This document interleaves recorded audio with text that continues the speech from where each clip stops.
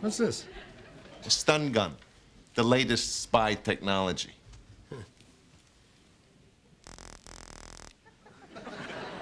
That's cute. That didn't hurt? Nah. Now, you know what hurts? A cannonball to the gut.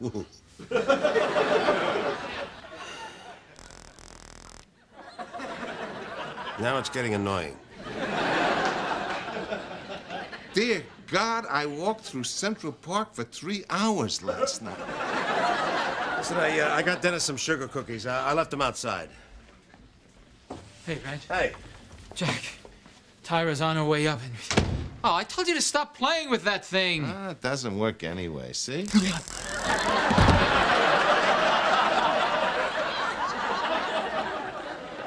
it does work. Isn't I know, and I must confess, is that Stacy here is not a doctor, but a hooker. Oh! How dare you! I did not spend 12 years at medical school to be used as a prop in some pathetic attempt to get back at the woman who dumped you. Huh? You came into the ER drunk and screaming your name. I should have known it. Why are you doing this to me? I'm paying you. Don't know what you're drinking or what's spinning in your head. Where'd you go to school? What's your specialty? Point to your pancreas now. Why stop doing that? Listen, you are. Ooh, candy. Lemon, wacky, hello? Uh, it's supposed to be delicious. My cab driver told me about it when I inadvertently tipped him a year's salary. Okay, okay, okay, okay. What's going on? I don't know. I haven't felt this way since 1969 to 1978. All right, maybe we've got the flu. Oh, we, we had the flu. Could I do this? Maybe it's something we ate. Oh, don't be Something ridiculous. Ugh. It's the damn lemon wacky hello! Check the ingredients. Cornstarch, citrus taste, and hello. It's a hallucinogen, probably in the opium family, most likely affecting the dopamine neurotransmitters in the cerebral cortex. I used to date Timothy Leary. Has anybody seen Jack? In what sense? Something's amiss. Something's askew. Yeah. Something or someone is a little out of whack. Is it you? No.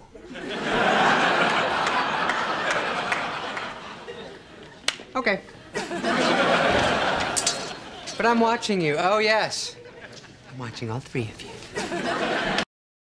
No, no, we're going out there and we're gonna make a magazine. Oh my god, it's the cops. We're busted. All right, relax. I'll take care of this. I'm in control. Nina Elliott, sit on the couch. Maya, stop pacing. Lester, act like my hand.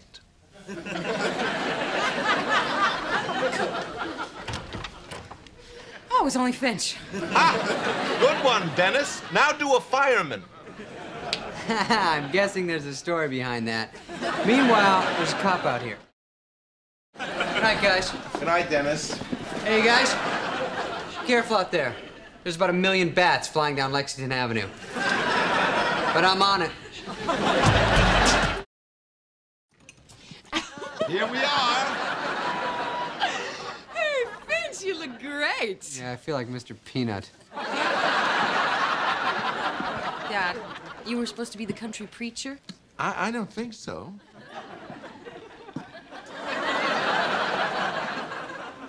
What are you doing, Jack? I'm supposed to be the safari hunter. Oh, are you? There was so much confusion back at the office. There was no confusion. There you go again, talking in riddles. So Larry did it. Wow, I did not see this coming. Maya, we owe you an apology. This was the greatest party ever! Okay, everybody listen very carefully.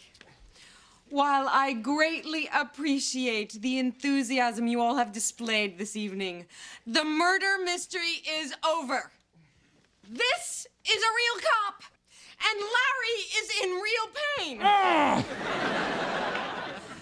but most importantly, Professor Gladstone is actually dead!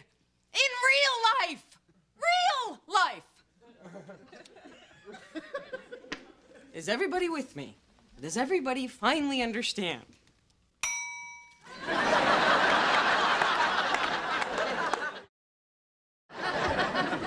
That guy always sticking things where they don't belong. hey, have you seen my mother? No. Maybe she's lying down. Go to the store. What? I thought you were going. I am trying to have a traditional Thanksgiving here. Now be a man and go get the tofurkey. Hey, Rip Van Winkle. What happened to you? I was in the orchard looking for Jack and Colleen. It was getting dark. I heard a noise. And then I started thinking about all the people who might be after me. And so I ran. And then I tripped over one of those thingies that attaches the tree to the ground. A root? Yes, yes. But I need to lie down. No, don't go in there. Why not? The light. It's not flattering. Thank you. God, that was a close call. What are you waiting for? Christmas? Carve the bird! Jack. Yes? Finch told me everything and we need to talk. Did you turn the knife off? Listen, Elliot, uh, I didn't plan it. Please forgive me. Look, look. I don't know if this is my place to say, but I think you should just let Finch have her.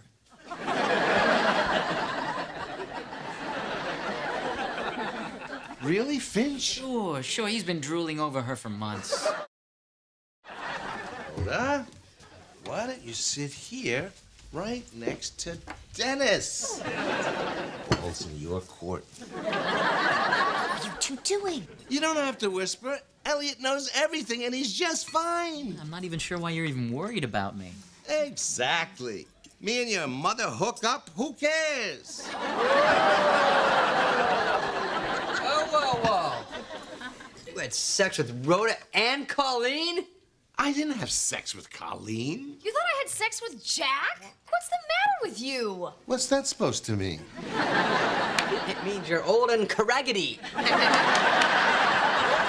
If you didn't have sex with her, then why did you give her my job? I'm not giving anyone your job. Well, then what am I doing here with Slam? Have I said one mean thing to you? Oh, this has been good. It's been a kind of cleansing journey. Hey, who's hungry? Oh, I Dad, will you get us the turkey? Uh, I, I'd be delighted. You touched my mommy! She threw herself at me! You dirty liar! You know what? Next year, you can all go tofurkey yourselves. This is a song that I wrote about a summer I spent 15 years ago on a teen tour of France. A very special summer where a group of strangers became friends for life. And where a young girl became a woman.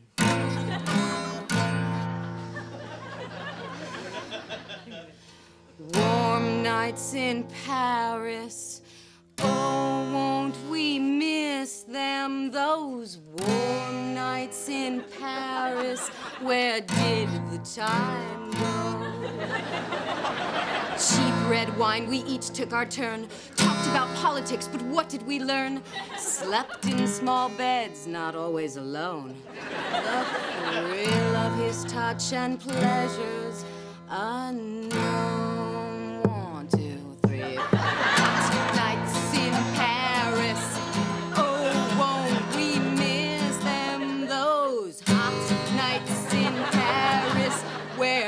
The time go? Oh my god, this is awful. She's gonna stop playing and I'm gonna have to say something. Okay, calm down. She just wants to hear it's great. Just tell her it's great. Say, Maya, it's great. Great. Où est temps perdu. Where did the time go? I'm coming home, America.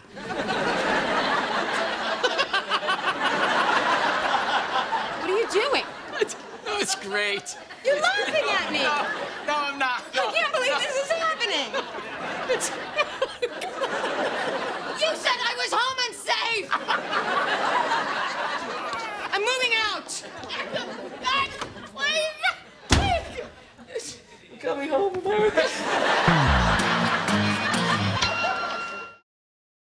Come on, it turns me on to hear how smart you are. How you fell out of that tree on purpose and how you've been fooling everyone, you clever thing. Donnie wanna climb tree. That's metaphor. You're the tree. All right, that's it. That's enough. You okay, Donnie? My pants are tight.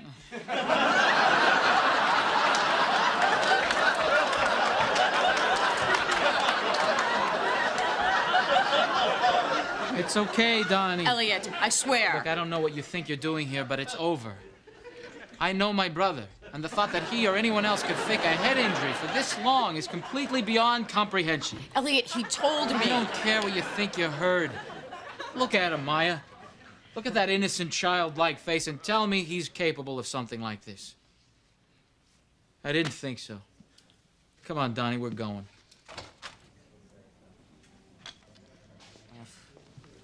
What am I, an idiot? I've been doing this for over 10 years. Seriously. Yay! No, Donnie. When air is hot, it rises. Vacuum. No, hot air. It's the same reason a Pop Tart jumps out of the toaster. Or why a helicopter. Oh, for the love of God, it's not hot air. It's not magnets. It's a vacuum, Jacko. It's like a straw. You ever use a straw, huh, lab partner? air withdrawn from one side is replaced from the other side. And then the airstream creates pressure, which allows the objects to propel through the freaking tubes.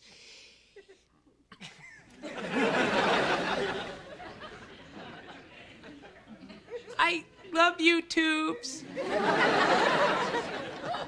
Green quarter. Chicken pot, chicken pot, chicken pot, pot. Donnie, what the hell? Oh, crap. Now I gotta get a job.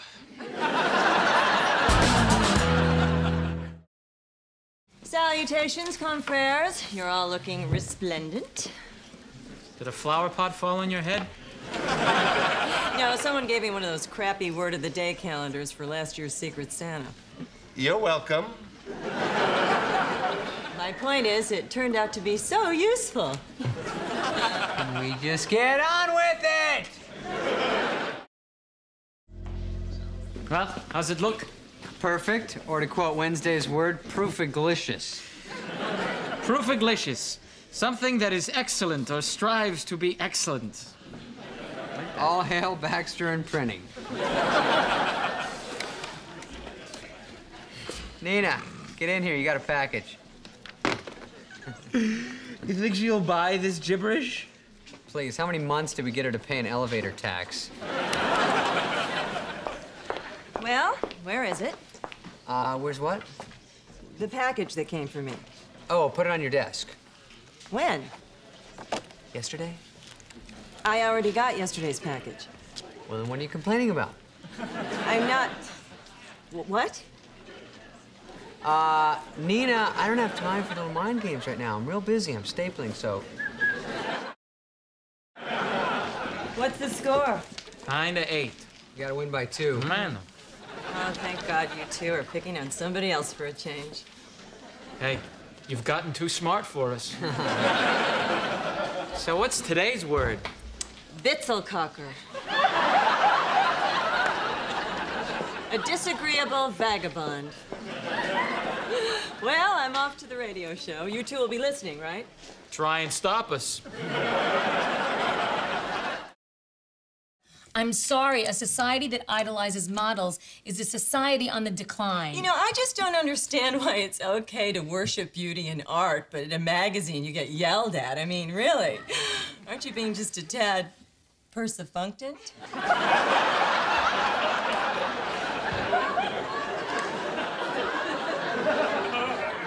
Persifunctant? You heard me. But I didn't understand you. Well, then maybe you should listen a little more and emollicate a little less. Emollicate. Actually, he's pretty cute. Dark hair and good build.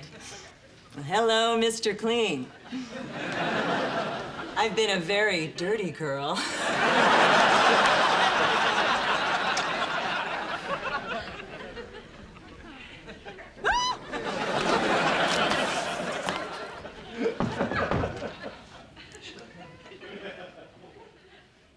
Hi.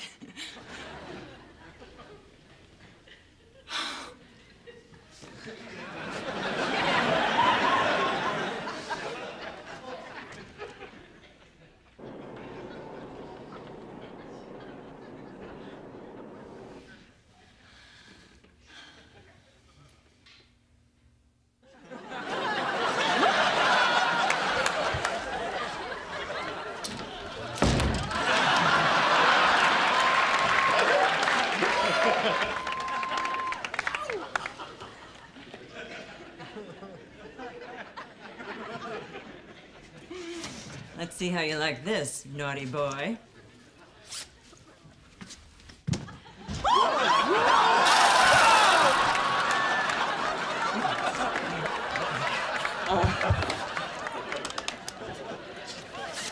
Hello, security?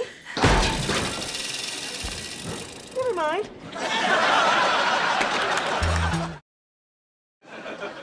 What are you jealous? No, it's about Ed McMahon.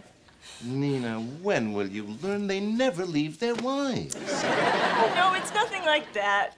My friend at A&E just called, and apparently Ed pushed an old woman out of the way of a speeding cab and ended up getting hit himself. An ambulance just took him to the hospital. That's horrible, but I don't quite see how. If he dies, A&E is going to air his biography instead of scheduled programming. And the scheduled programming is That's terrible, but I'm sure wherever Ed's family is, their prayers are with you. I know that it would be selfish of me to ask for this man to live. But if you could just allow him to linger until nine o'clock tonight, eight o'clock central, I would be forever grateful. Hail Mary, the Holy Ghost, David and Goliath, and all the rest of them. Amen.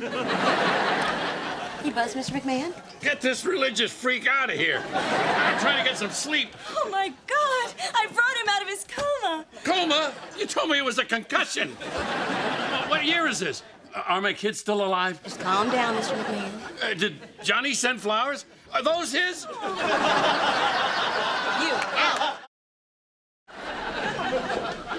Yeah, I hated Shakespeare in high school.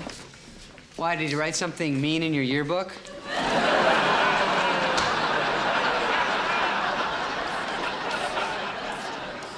How could you not love Shakespeare?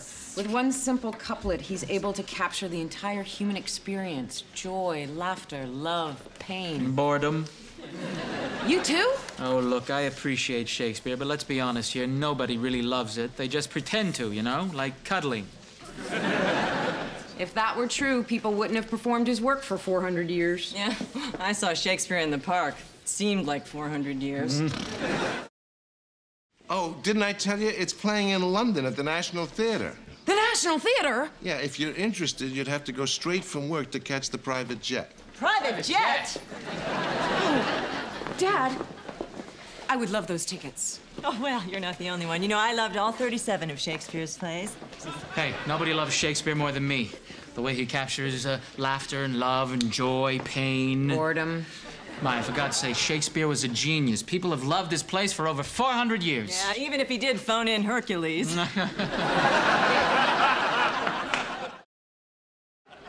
Go over there and distract him. Just don't talk about Binny or anything that happened in the 70s. Just handcuff me, why don't you?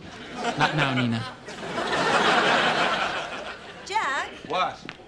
uh, knock knock. Nina, I don't have time for this now. Okay, I'll do both parts. Um, knock, knock. Who's there? Lettuce. Lettuce who? Uh, let us all join hands together and hope that tomorrow is a better day.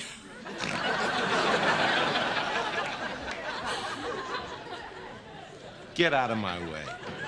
Okay. Jack. What? Uh, check check this out. What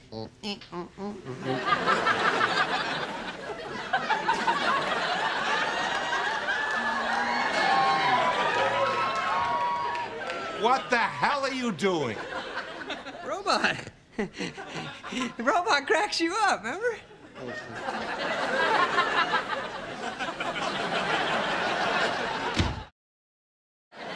Sweet dreams, darling. Mm-hmm.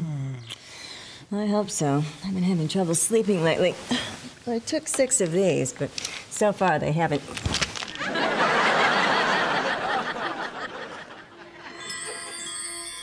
Hello, Nina. Benny, I thought you were dead. I am dead. I'm visiting you from the afterworld. Dimethylhydrosulfazine. Isn't that an elephant tranquilizer? They're very hard to find. I had to switch veterinarians. I see you still wear makeup to bed. And I see even God couldn't fix that Mexican facelift of yours. Bitch. Lush. I miss you. God, I miss you too. Before I came to Blush, I was radical and poor and pissed off. And now I have this good job and nice clothes and some money, and I'm. Happy? Yes! What kind of monster are you? What the hell's going on here? Hi, Dad. Hi, Jack. Hi. Well, what are you all doing here on a Saturday? Oh, you're in the neighborhood. Well, go home. All right, you're grumpy, I'm fired, blah, blah, blah. We know you've been feeling kind of down. And we were wondering if you weren't busy. Maybe you'd like to take a little walk. A walk? Yeah, maybe over the Brooklyn Bridge. It's a little nippy. How'd you know? It's not important. Come on, try it on. It looks great. Mr. Chan stayed up all night making it perfect. Even if he is just a floating head in a jar.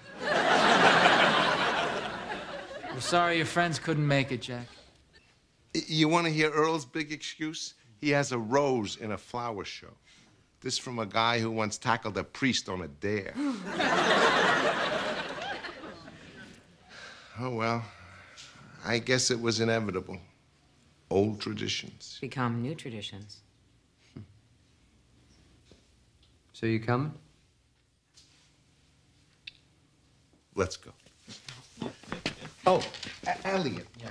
When you get to Milt's, you're going to taste the world's best blueberry pie. I can taste it now. Who are you calling? Allie, hi, it's Maya. Hold on. Great idea. Hi, honey, it's me. Listen, why don't you put Hannah in the stroller and be downstairs in about 10 minutes? We're going for a walk.